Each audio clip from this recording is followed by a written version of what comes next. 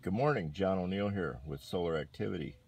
And I'm extremely pleased to announce that I just got my new Daystar Filters Calcium H Quark. And I'm very pleased and more excited than I can say with what I can see in the eyepiece. Um, I've owned a Calcium K module for several years now and while it takes great pictures, I was unable to see anything in the eyepiece. Maybe a little purple smudge in the center, and that's about it. When I went to public outreach events, a lot of people would look in my scope and couldn't see anything.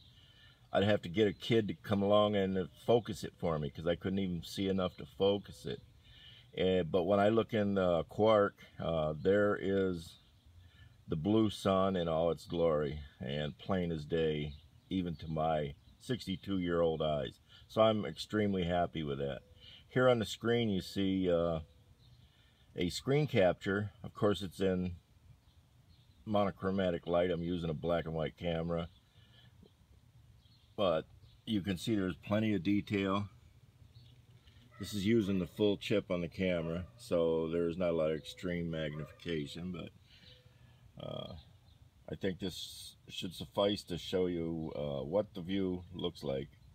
And that's pretty much the same way as it looks like in the eyepiece, except it's blue.